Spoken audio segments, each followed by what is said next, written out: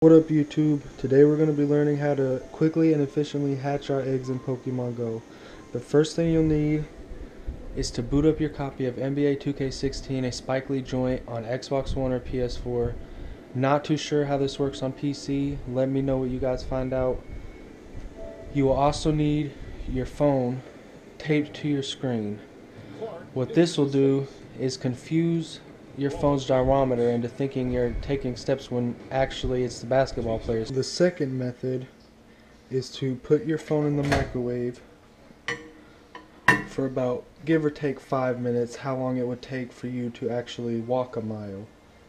The third method is going to be it's a little bit unorthodox, but we're going to tape